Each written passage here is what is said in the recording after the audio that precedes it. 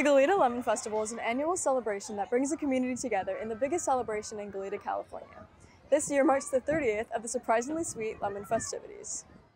The Lemon Festival is a fantastic annual event. This is our 30th year celebrating the community of Goleta and our lemon heritage.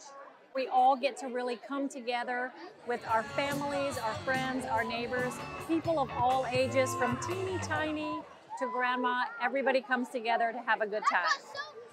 The event is a fundraiser for the Chamber of Commerce, but we also have about 40 nonprofit groups and for whom this is their largest fundraiser as well. When you walk around the tables, you learn about them, uh, and they make it engaging for the kids.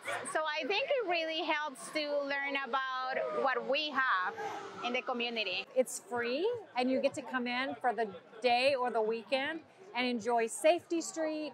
You can peruse the vendors, or of course, spend money on lemon pie and lemon bars while you watch the entertainment. The Lemon Festival also offers an inclusive kids zone with activities such as bounce houses, rock climbing, bungee jumping, and more. I think that's, that's the first thing she wants to do, is go to the water bowls.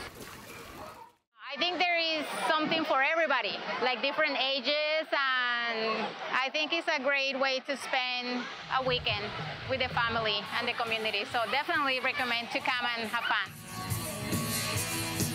This celebration brings people together from far and wide to enjoy lemon festivities in each other's company.